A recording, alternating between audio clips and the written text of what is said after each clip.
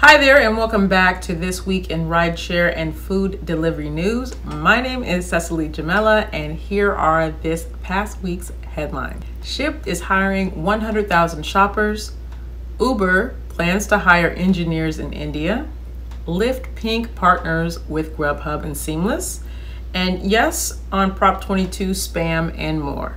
It's This Week in Rideshare and Food Delivery News.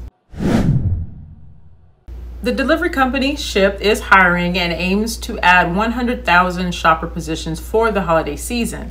Now, Shipt says that their personal shopper expansion reflects not only just an expected hike in holiday orders, but also its growth into new markets and retailers. Currently, Shipt partners with almost 120 retailers across the United States, with recent additions outside their core market to include Party City, Bed Bath & Beyond, uh, Buy Buy Baby, and Office Depot. If you're interested in working for Shipt, a link is in the description below. Last week, we announced that Uber is laying off over 3,000 employees. And this week, they announced that they are hiring over 200 engineers in India to cut costs. Lyft announced that they would be including discounts, perks, and free delivery for Grubhub and Seamless orders for their Lyft Pink members who pay $19.95 for discounts each month. As Californians prepare to vote for Prop 22, some people are calling out Uber and Lyft's aggressive tactics and, and saying they're all out spamming folks. Now, this person called out a push notification that he received on his phone. Uh, Dubal, an associate professor at UC Hastings Law School, also a person who's been very outspoken, an outspoken supporter of AB5, shared this image on her Twitter saying that when you order an Uber, there's a thought bubble that says yes on 22. Now, I received this in the mail twice. Okay, the same thing twice.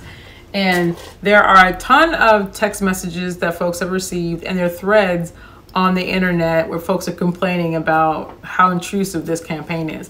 Now, I know we have a lot of folks that are split on the issue. There's a lot of folks that want to vote yes. So maybe you guys can help answer this question for me. With all of the benefit conversations I hear, I just haven't been clear on what the benefits actually are. Specifically, does anyone know what their stance is on sick pay, workers' comp, unemployment, guaranteed wages?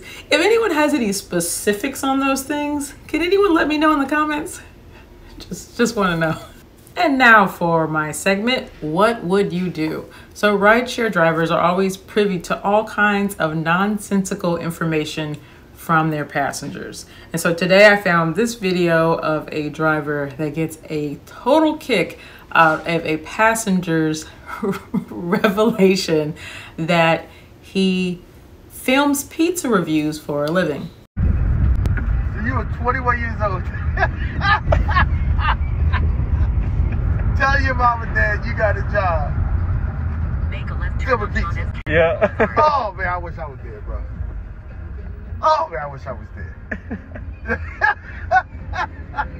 What's the funniest thing or something that wasn't supposed to be funny but that you found humorous that you've heard from one of your passengers? Let us know in the comments. That's it for me. If you liked anything that you heard today or my earrings, please hit the thumbs up button. If you are not subscribed to this channel, please subscribe and turn on your notifications so that you know when my video pops up every single week. I'm here every single Saturday morning. Uh, if you have any tips for me, you can also contact me on my YouTube or my Facebook. Don't forget to vote early. I pray that you are all in good health and stay that way. See you next week. Peace out.